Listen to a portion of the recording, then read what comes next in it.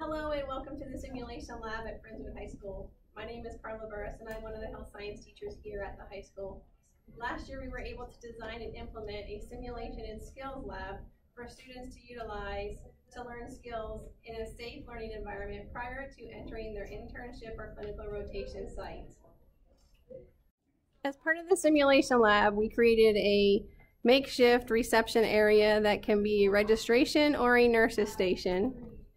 And this is where patients register prior to being seen by the doctor. We've also created a reception area where patients will wait prior to being examined or called back into the clinical room by the medical assistant in training. As you can see, we have a simulated hospital room.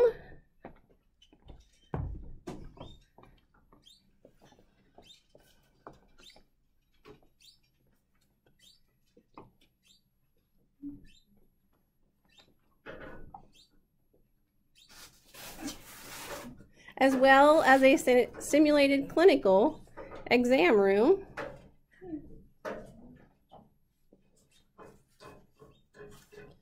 This year we're asking for several pieces of equipment to help improve student learning.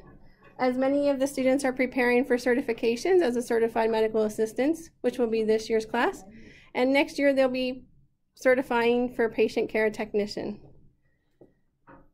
The items that we're asking for this year include a nursing kid, which is a mannequin that simulates a real child and many skills can be performed on the mannequin, along with a nursing baby, which is also another mannequin that skills can be performed on. We're asking for simulation pads that are controlled by the instructor.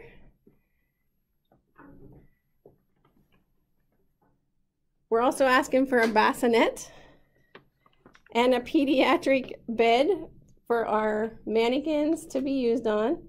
We would like to ask for a linen cart because currently our linen is used as placed on the counter.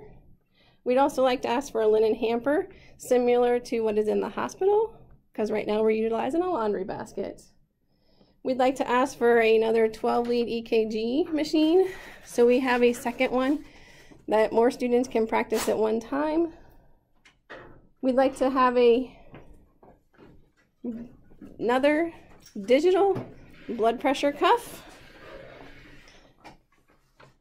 so students can become familiar with the equipment they will be utilizing in the clinical setting. We'd like a scale. The scale we're asking for is an infant, pediatric, and adult scale. We'd also like a Doppler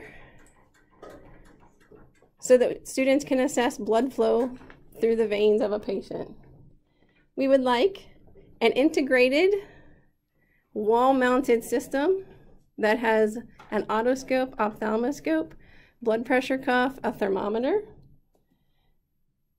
We would like sim leggings, which are leggings that simulate edema or swelling in the legs that we will be placed on Nurse Anne. And we would also like to get an overlay that's a 12 lead EKG so students can practice doing 12 lead EKGs on the mannequin instead of each other. On behalf of the health science team, teachers, and students at Friendswood High School, we would like to thank you for watching this video and for your support this year. Thank you.